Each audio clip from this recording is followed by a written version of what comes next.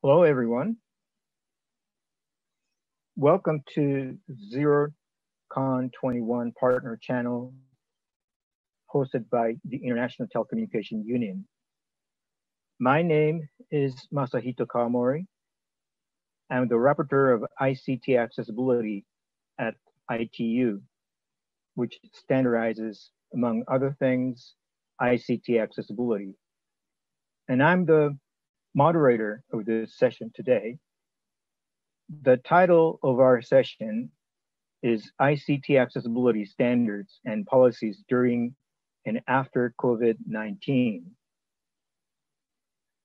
Before starting our presentations, I would like to invite Mr. Raza Niaz to say a few words on behalf of the Zero Project. Thank you, Masahito. Welcome to our project community.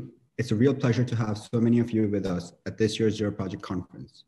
With over 4,000 participants online, this year's virtual conference has become a truly global gathering space for those committed to disability inclusion.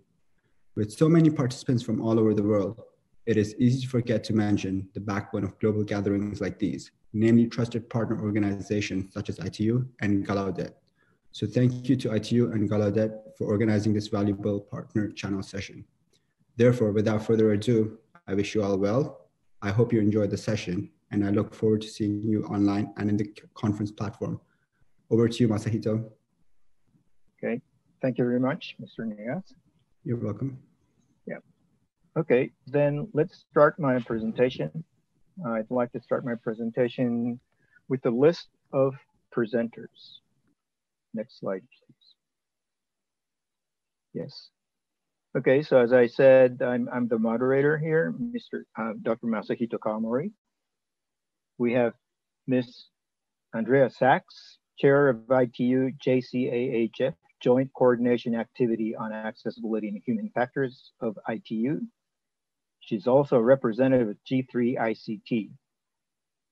We have Mrs. Lidia Best, Duffin, co-vice chair of ITU JCAHF, and the chair of National Association of Deafened People, NADP, in the United Kingdom. And then we have Dr. Christian Vogler. He's deaf, a professor and the director of the Technology Access Program Research Group at Gallaudet University in the United States of America. And then we have Dr. Tom Pey, who is the chairman and managing director of WayMap, chief executive of the Royal Society for Blind Children, He's worked in the area of accessible transport for over 20 years and has supported the development of standards and practical solutions in this area. And lastly, but not least, Dr. Dušan Caf.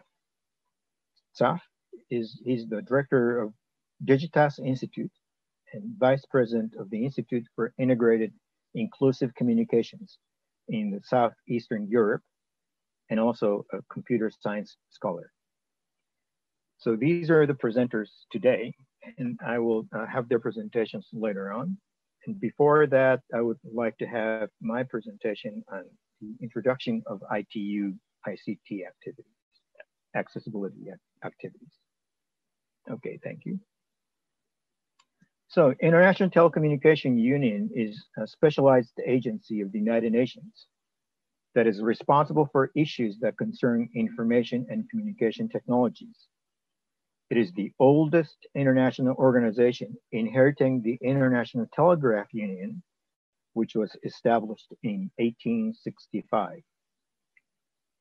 And uh, one of the, the famous standards that we standardized is SOS, International Morse Code Distress Signal. And ITU took the prominent role of intergovernmental coordination after the Titanic disaster. Next, please.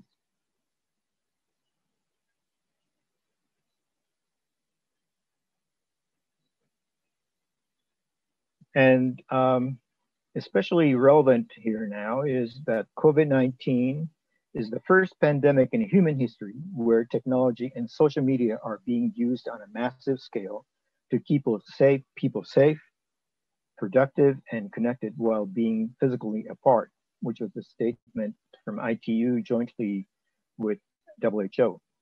And ICT, information communication technology, is an essential tool in providing vital health information to the wider population. And standards and interoperability are essential in the global setting. And ITU is working with persons with disabilities worldwide to standardize these ICT accessibility technologies. Next, please. Here are some useful ITU standards. We have remote meeting participation standard, standard on captioning.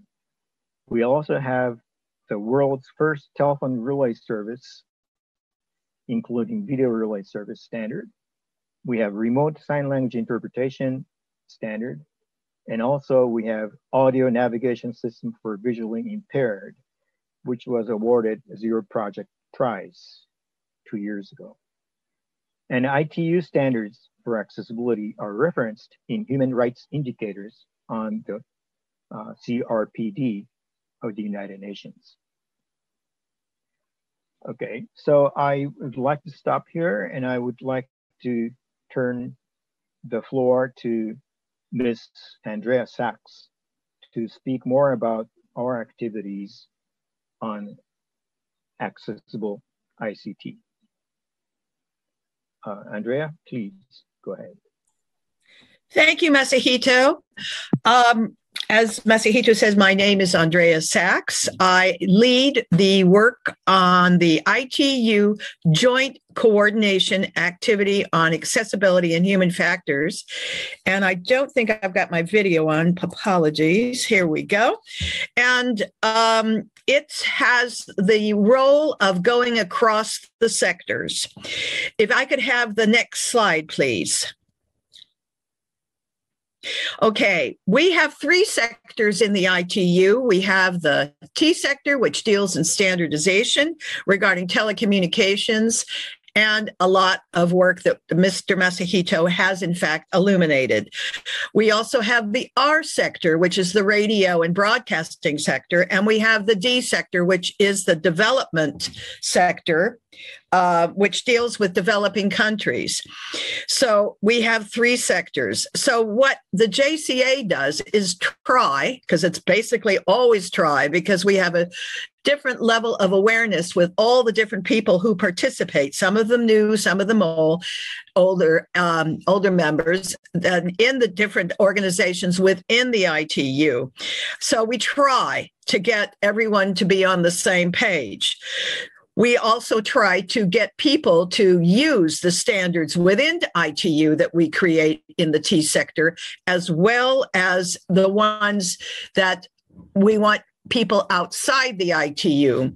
The JCA uh, can communicate with any organization outside of the ITU should they wish to join.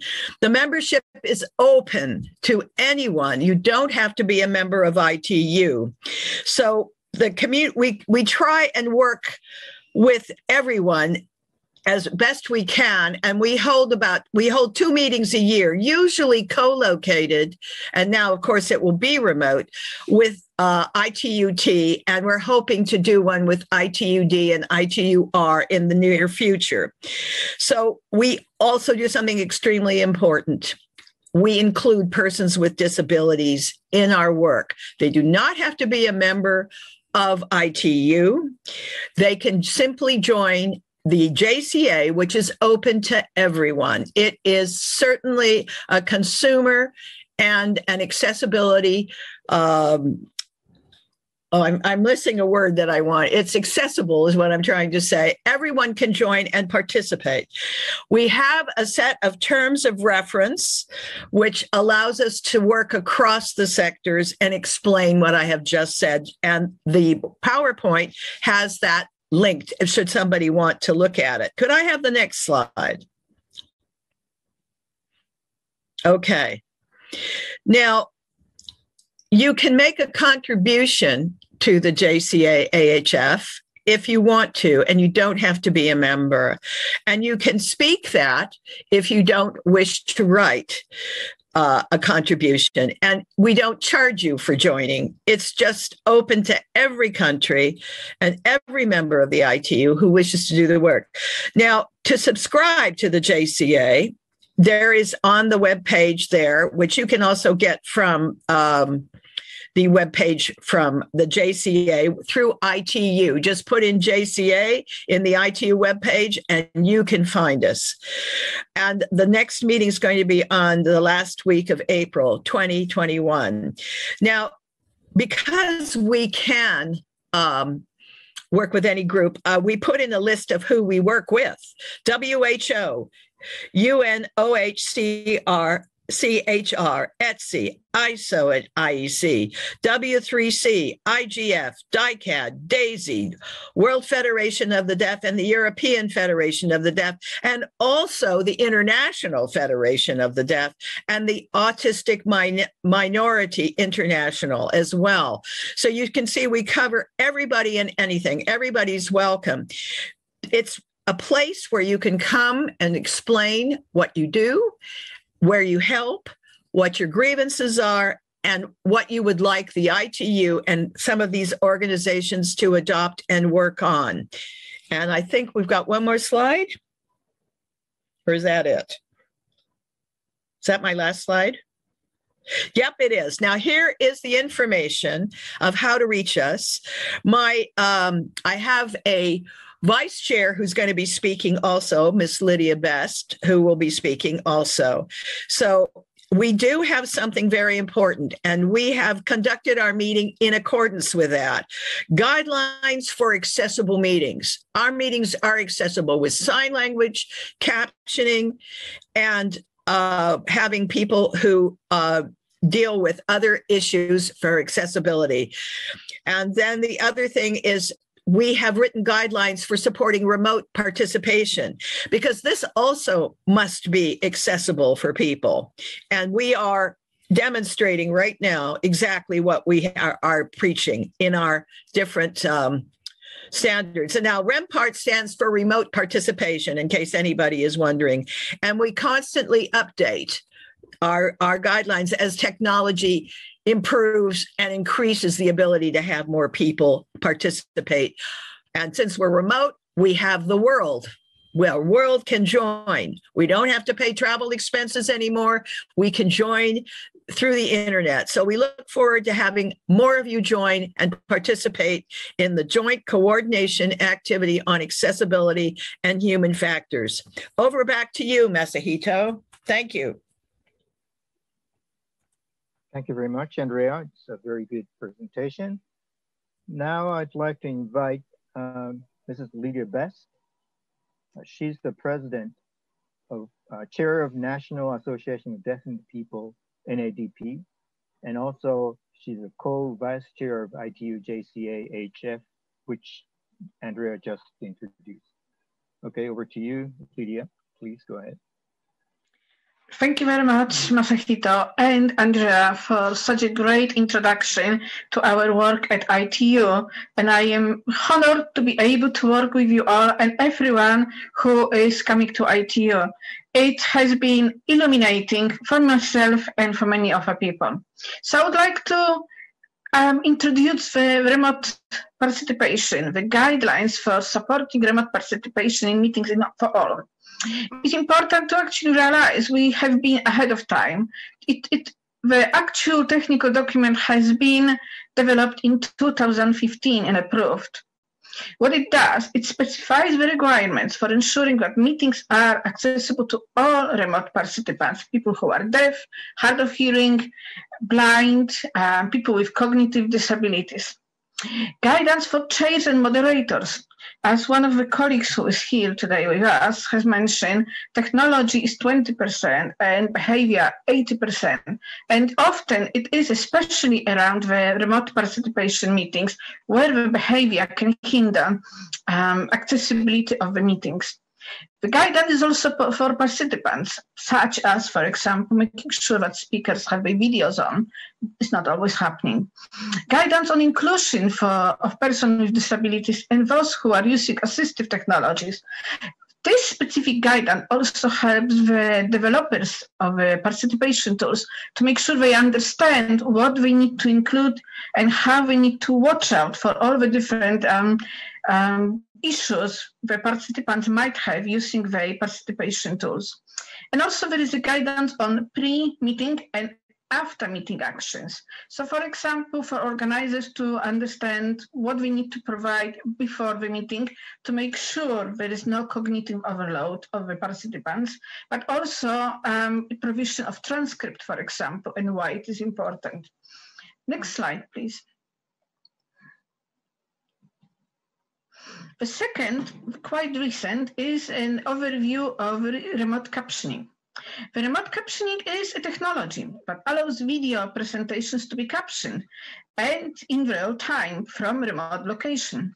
So these services are usually utilized by the deaf and hard of hearing people, but also for other people, often those for whom um, English, for example, in this case, is second language. The transcribed text is streamed during live meeting like today, we are able to do that.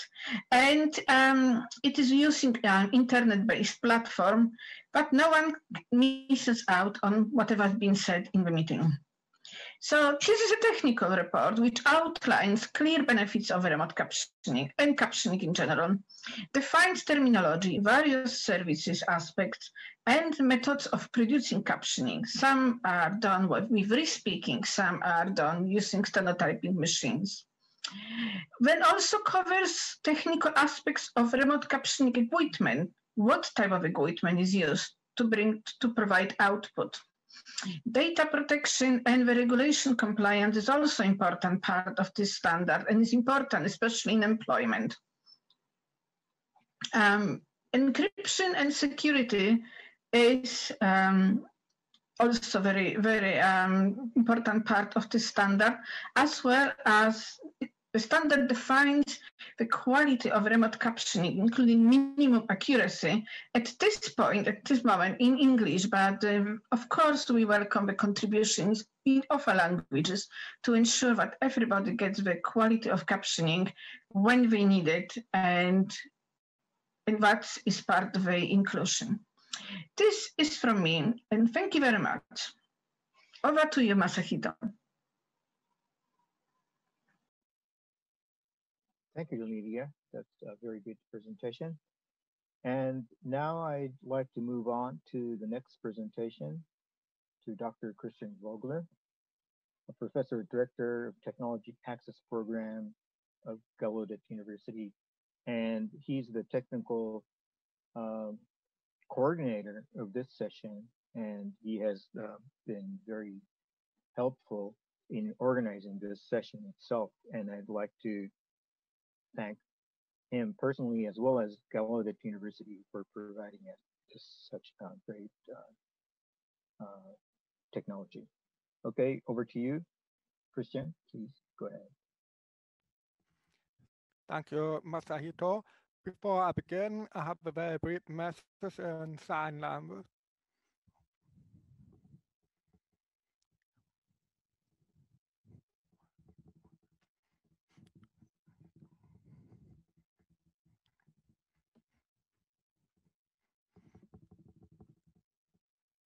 Okay, I just said that I feel much more confident in American Sign Language than in International Sign, and that is the reason why I'm going to speak for myself.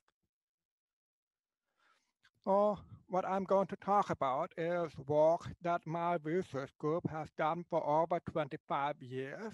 And in particular, we have been thinking about remote access and online video conferencing for over 10 years. Um, the first part, I'm going to talk about relay services. That's really about how deaf, hard of hearing people and people with speech disabilities can make phone calls. Because obviously that is an important part of the pandemic now, how we can interact with each other when we are working remotely. So the ITU has a functional standard called F.930, which you see on the slide which uh, is the functional description of relay services. The basic idea is that relay services are human services mostly that provide a mediation between a person with a hearing or speech disability and a person who is hearing to make sure that they can have access to phone. So the relay service tends to have a human operator in between that translates the communication, communication medium of source to audio and back. For example, sign language to spoken language and vice versa, or text to speech and vice versa. The F930 standard specifies four main types of relay services that I saw on the slide. The first one is caption telephone relay service. that um, a phone that looks very much like a regular phone, but it has a screen that shows the captions of what the hearing person is saying. That particular service is appropriate for people who like to speak for themselves, but who might struggle understanding things that are being said over the phone. Okay, the next picture on the top right is an example of video relay services, and that's appropriate for people who use sign language. They talk through a sign language interpreter to the hearing person, through a regular phone call while they have the sign language interpreter on video and vice versa from spoken language to sign language. The third one, the third one um, on the bottom left text-based relay services. And I have two examples there. One really old one, which is the TTY, which was um, the old traditional way of making phone calls through, um, through phone line. And then the more modern option, which is real-time text. Um, and that currently is available on iPhones and Android phones in the United States. Either way, the person will type and um, the relay operator will read the text to the hearing person and vice versa. What the relay operator hears will type it back in text. Okay, and the last one on the bottom right is for people who have both a motor and a speech disability that prevents them from speaking clearly and that also prevents them from typing. In that particular situation, you have a trained operator who will listen to the speech of the person with the disability and revoices it clearly so that uh, the hearing person can understand it even if they are not trained in that particular type of voice. And by the way, that picture shows a person who founded the village services in the United States for this particular type of disability. So, so far, I've explained to you what the village services are and how they work. They are available in the United States, in Sweden, Australia, New Zealand, the UK, a few others. Not every type of village service is available everywhere. And they all have one fundamental limitation, and that is that really it is the concept of making a phone call, which means you have to be able to dial a phone number and reach another person that way. So in today's age, we do a lot more communication than only phone calls. We do a lot of video conferencing. Um, we don't really call phone numbers all that often anymore during our everyday work. That's a major problem. So now I'm going to show you why.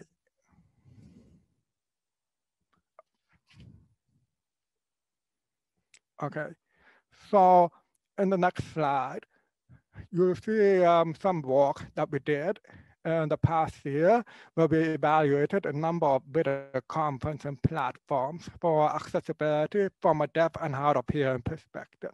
So I want to be very clear, this is not every accessibility feature, it's only about the types of features that are useful for people who are deaf or hard of hearing.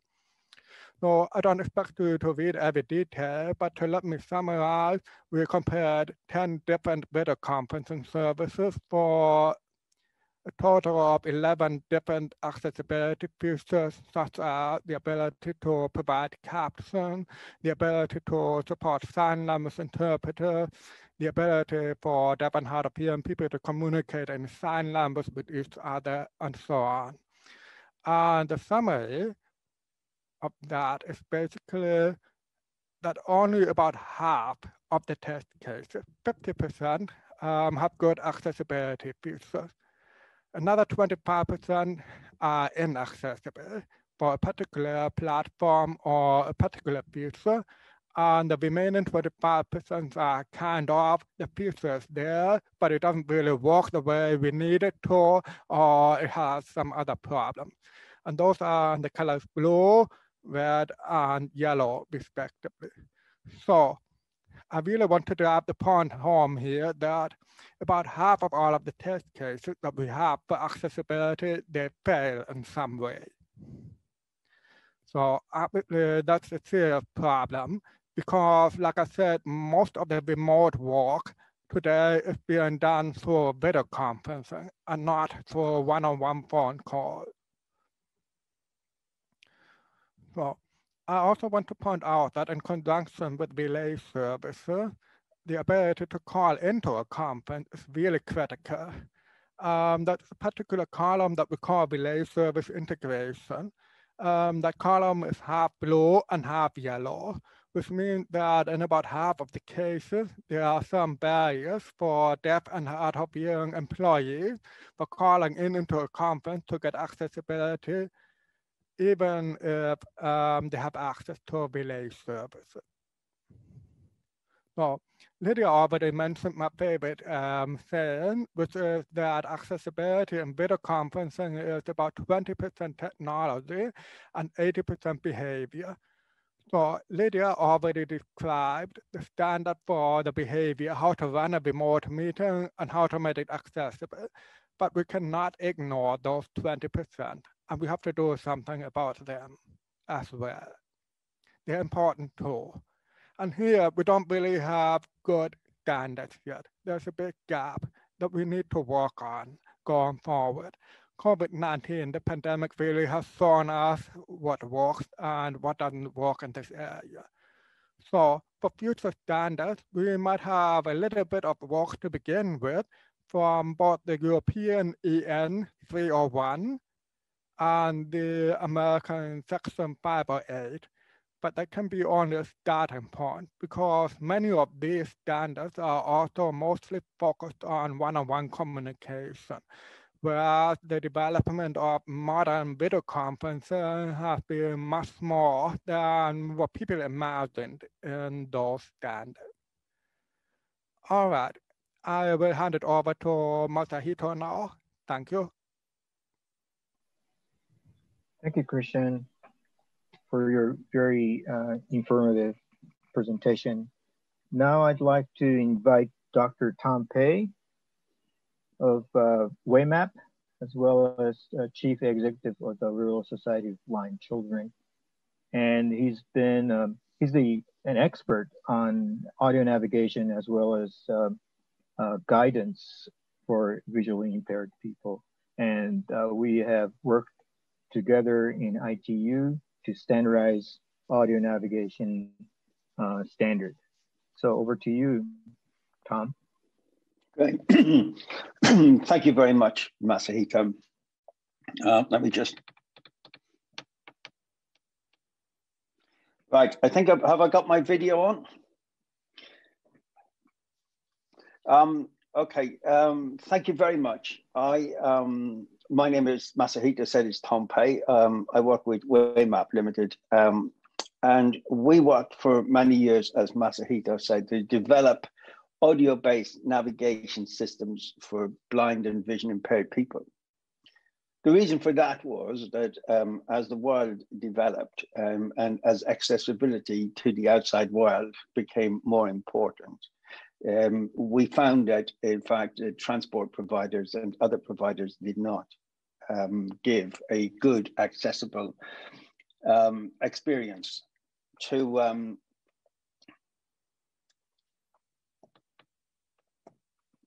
So um, yeah, uh, so uh, I'm I'm really sorry, my um, audio went off.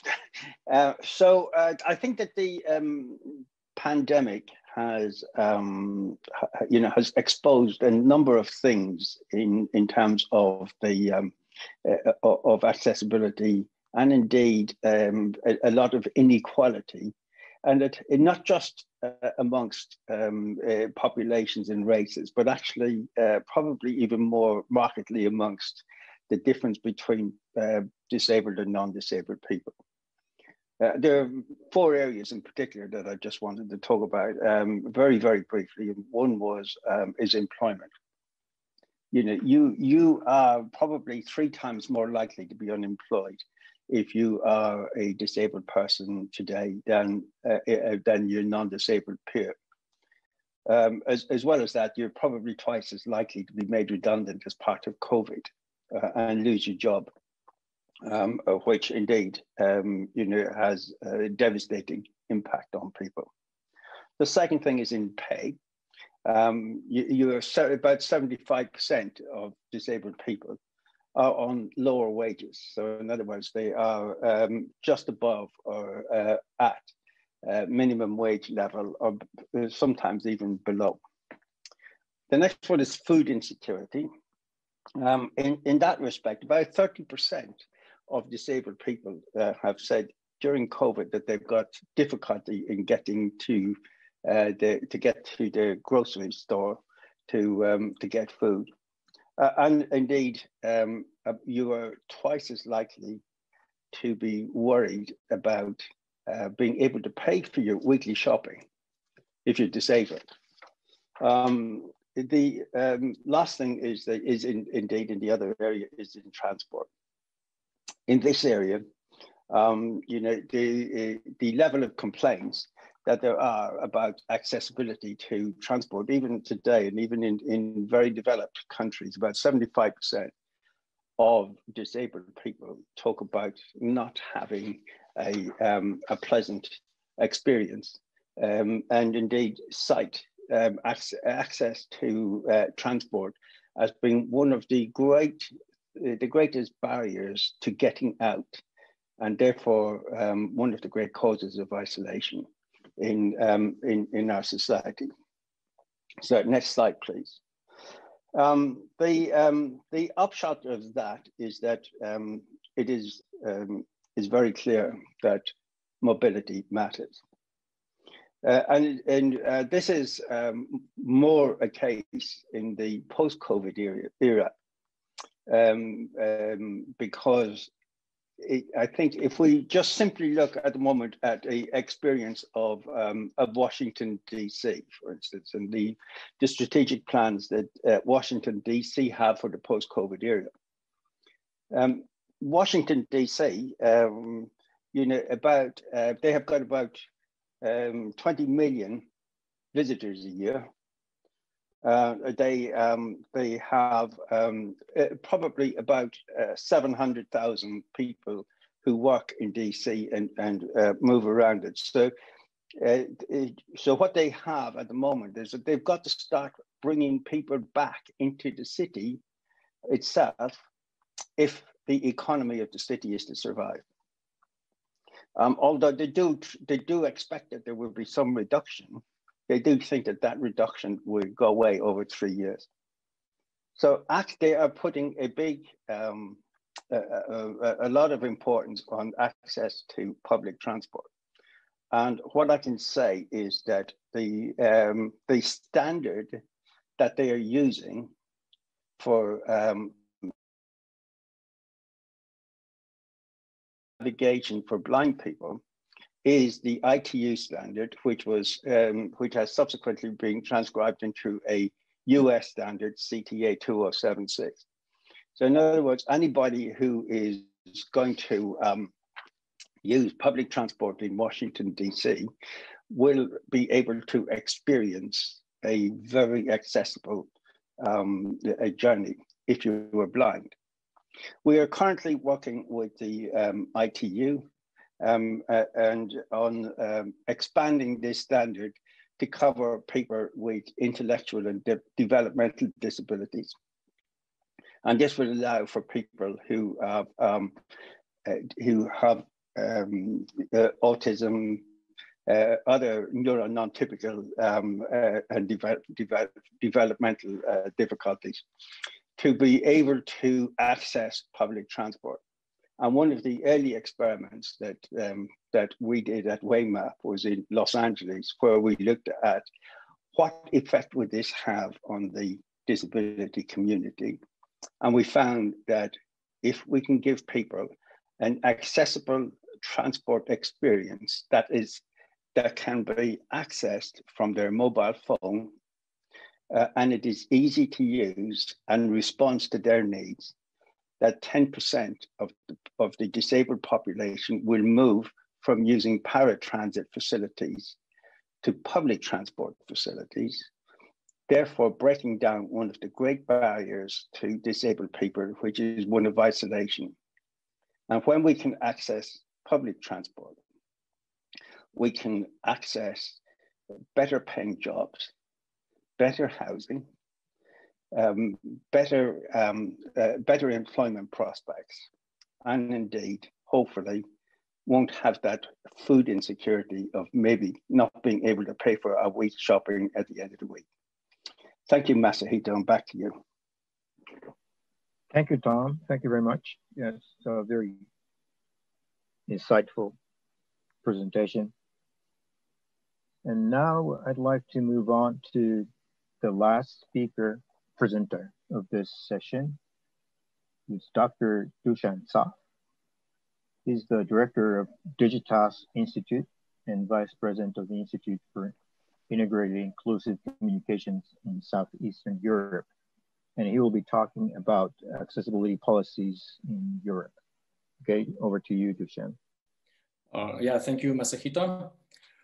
Uh, well, COVID-19 turned out to be a challenge, especially for persons with uh, sensory impairments. So we decided uh, to offer them help and invited them to participate in our activities. Uh, we offered them ICT solutions for their meetings and provided them support and training. So through these activities, through this partnership, we, we learned a lot about the needs and also about the environment um, that is provided to persons with disabilities. Uh, we, signed, we signed partnership agreements with several organizations from Slovenia and Croatia, uh, with experts who joined our team and also with um, academic institutions. Uh, we launched the ICT accessibility testbed to develop and test accessible ICT solutions targeted at deaf and hard of hearing communities. And a particular focus was on safe and secure solutions, uh, including those based on web RTC uh, technology. Deaf and hard of hearing persons, sign language interpreters, and experts participated in testing solutions uh, such as video remote interpreting services, online meeting applications, and uh, language uh, technologies. Uh, the testbed activities were aimed at improving the understanding of functional and accessibility requirements of accessible ICT solutions and defining regulatory requirements for their deployment and for the betterment, of course, of the deaf and hard of hearing communities. We have also launched uh, awareness raising, capacity building, and training programs on accessible ICT solutions to meet COVID-19 challenges. We collaborated with our partners and local, regional, and national stakeholders. So we still um, develop new initiatives and new programs, especially in the accessible tourism. Uh, our activities uh, have been supported by extensive research work and in ICT accessibility.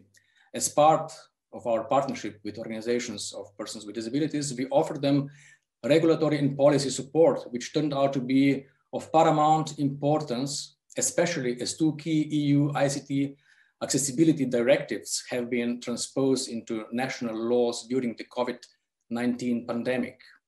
Uh, we also help with disabilities, um, persons with disabilities in getting better broadband packages to meet their increased need, which have uh, significantly increased during, during the pandemic. Uh, next slide, please.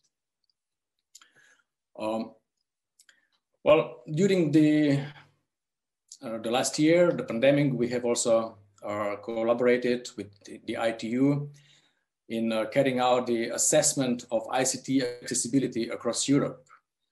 Um, so Europe is committed to implementation of the UN CRPD. Almost all countries have signed and ratified the CRPD and the majority have also signed and ratified its optional protocol.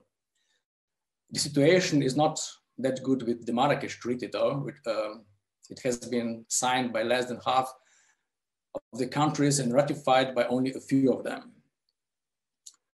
Well, the EU leads the way in ICT accessibility with its accessibility legislation primarily consisted of four directives, the Web Accessibility Directive, the Audiovisual Media Services Directive, the European Electronic Communications Code, and the European Accessibility Act, which, is, uh, which deals with accessibility of products and services. But we, we should not forget uh, both public procurement directives, which also uh, paved the way to better ICT accessibility in Europe. The implementation of the Web Accessibility Directive is a good example of how important are not only commitments, but also enforcement, monitoring, and reporting. Almost all European countries have adopted or plan to adopt web accessibility laws or statutory requirements, but they have also improved the enforcement, monitoring, and reporting. Uh, European countries have a good track record with universal service obligations, but there is still a long way to go to provide equitable access to electronic communication services, especially to emergency services and to emergency communications.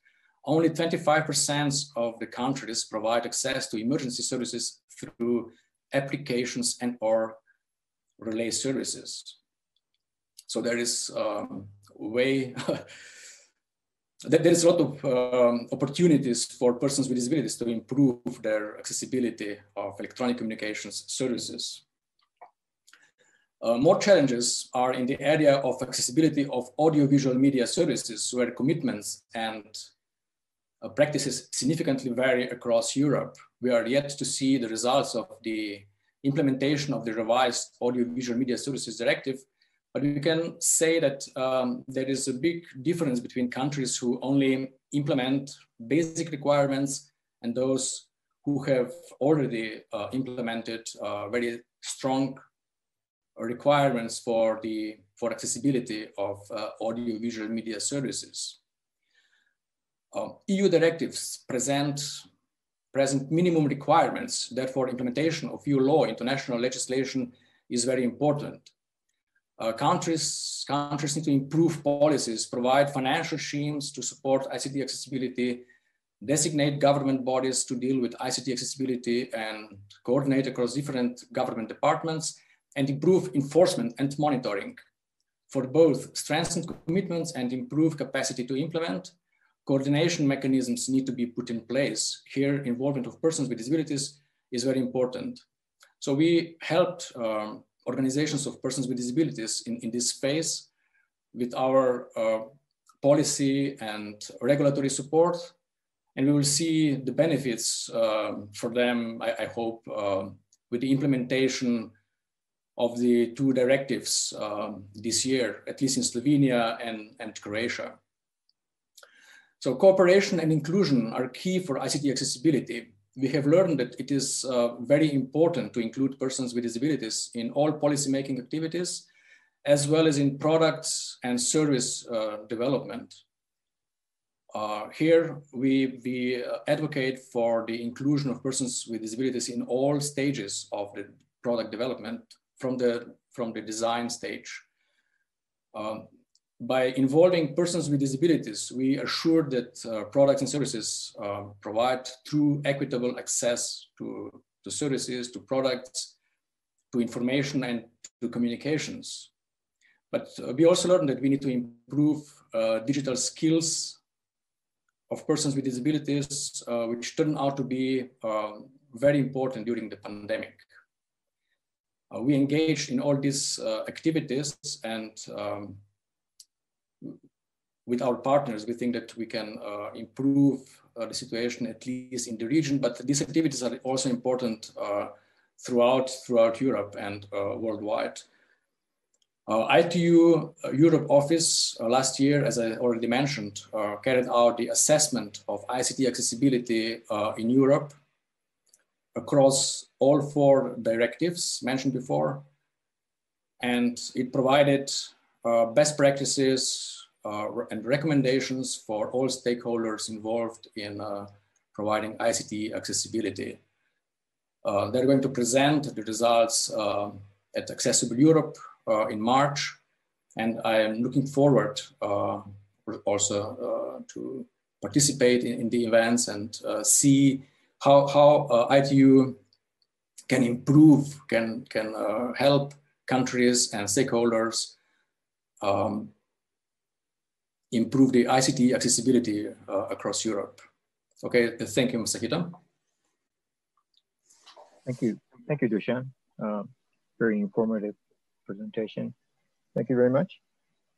Uh, all presenters. So I'd like to invite everyone, every uh, presenter to show their face and um, we'd like to start uh, we have about 15 minutes to discuss and um, uh, uh, come into some kind of uh, agreement and to, to come up with some takeaway message.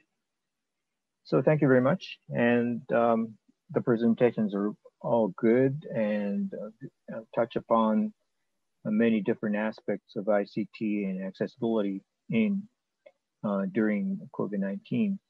But as uh, Tom suggested, you know, and also as one of the, the themes of Zero Project this year is employment for persons with disabilities. And um, I'd like to ask and invite opinions as to how ICT can help persons with disabilities in employment to you know to be being employed as well as especially during this COVID-19 new normal situation, uh, it has been very tough, difficult for many people, including not just persons with disabilities, but for everyone, and how ICT can help them in general. And uh, I, I can invite anyone uh, who wants to speak. So who wants to start? Tom, you want to say something or? Oh, you're muted. Great, I'm unmuted now. Thank you very much, Masahito. Yeah, uh, um, I mean, employment is the um, is the hub off of which um, integration uh, begins for those um, who um, who can uh, get outside their homes. Um, you know, employment doesn't necessarily just mean getting a job. It could be um, volunteering opportunities. But what it gives is the ability to interact with others. That's been taken away from us because of COVID. Um, and indeed, without um, without the video conferencing technologies that we've got, uh, without the great work that was done by Lidia and Christian in um, in making uh, telephone relay services accessible, um, you know, um, yourself and myself actually were working on accessible access uh, access to transport um, uh, and making that a, um, a, possibility and a reality. Um, I think that um, what we what we would end up with if if that ICT was not available, what we wouldn't have is that spark of hope that comes from the uh, from, from a, a vision of the new normal the new normal, I think, is definitely is is. Uh, I think what we've learned is that the during this lockdown, that um, staying at home is uh, all of the time and working from home all of the time is not going to be the way forward. The way forward is going to be a mixture of both. So it's going to be so important that we have um, dis disabled access in all forms of, um, of technology so that we can access it from our home and from work and that it is as portable and as interop interoperable as possible. Without that, um, you know, we're just going to go back to the, the good old days of being cut off from the world. And I don't, I think that um, uh, we've come too far to allow that to happen now. Okay, yeah, thank you. Dušan, uh, Lidia, okay, go ahead, Lidia. Um, you. This is a really interesting question how ICT can help. And Tom, you have put um, a kind of context of what we are now, and we are cannot we cannot communicate with each other. One thing ICT has done, especially video conferencing, for those who are very skilled lip readers, it allows them to be able to talk to each other despite not being able to hear on the phone because phones are not fully accessible um, in the similar way as Christian, for example, um, presented today. So that's one thing. Another thing is, um, yes, there is an automated captioning, which helps people to talk to each other on one-to-one basis. It can help, you can correct the mistakes which automated captioning is doing when cap captioning is not coming right, when obviously one and another needs to write different words, whatever have been actually was supposed to say. The gold standard is definitely a human captioning, which the standard which we presented today has shown. But we cannot forget that for some people, automated captioning may also work. So it's about asking what works and what is um, the best um, possibility of communicating. I do think also there is another aspect, especially I see it with older members in my association in UK. They also need to be fami to familiarize themselves with the technology. So that is another aspect, the educational aspect, which we need to um, to implement. This is from me to give more um, chance of everybody to say. Okay, thank you very much. We have three more minutes to finish, I think. And uh, I'd like to invite Dušan how policies can help in this respect. Yeah, thank you, Mr. Masahito. Well, I think that most people think that policies are boring, but after reviewing 46 countries and over 120 parameters uh, of ICT accessibility, we learned that uh, policy is policies are very important. So it is important how countries implement, um, for example, EU directives or other countries uh, their own policies, their own laws. Um, it is important that that um, persons with disabilities are in, involved because um, legislators may not may not understand you know, the difference between equitable access and accessibility. Sometimes services may be accessible, but they, they don't provide uh, equitable access. So we have to uh, teach them how to provide equitable access, how to uh, make uh, policies and, and laws, legislation that would um, strengthen equitable access.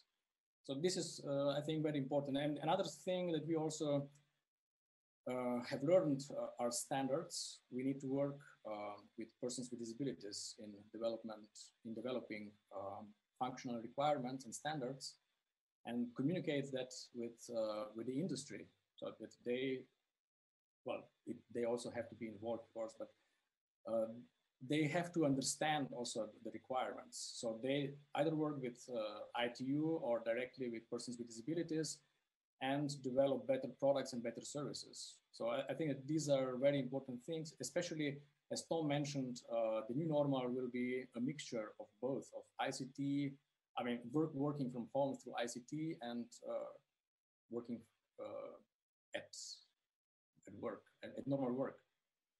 Okay, thank you.